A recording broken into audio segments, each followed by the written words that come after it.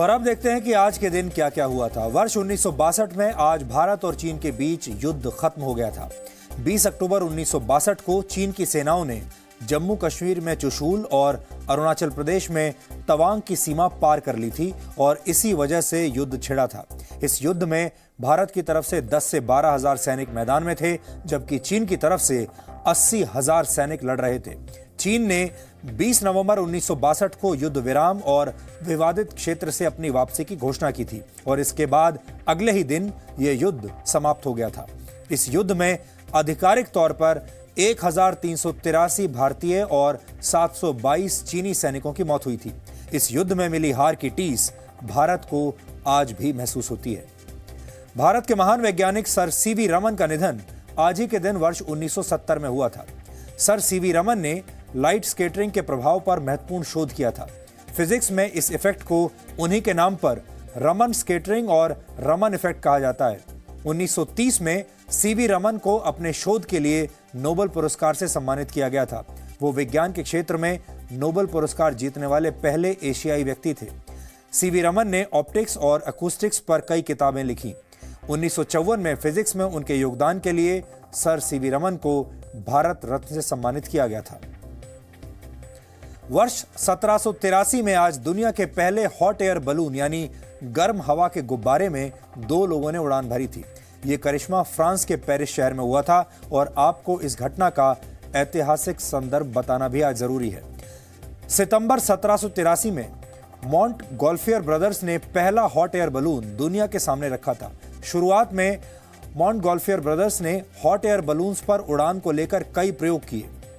कुछ में hot air balloons को रस्सी से बांधकर उड़ाया जाता था और कुछ में छोटे जानवरों को भी भेजा गया था।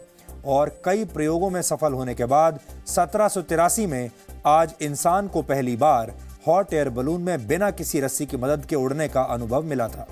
ये गुब्बारा मॉन्ट गोल्फियर ब्रदर्स ने बनाया था, लेकिन इन भाइयों ने खुद इसमें पहला सफ़र नहीं किया था। हॉट एयर बलून में पहला सफ़र करने वाले दो लोग फ्रांस के सामान्य नागरिक थे। हॉट एयर बलून को आप पहली ऐसी फ़्लाइट टेक्नोलॉजी भी कह सकते हैं, जिसकी मदद से इंसान को आसमान में उड़ने की सुविधा मिली थी। 1877 में आज अमेरिकी वैज्ञानिक थॉमस एल्वा एडिसन ने दुनिया के सामने पहला फोनोग्राफ पेश किया था।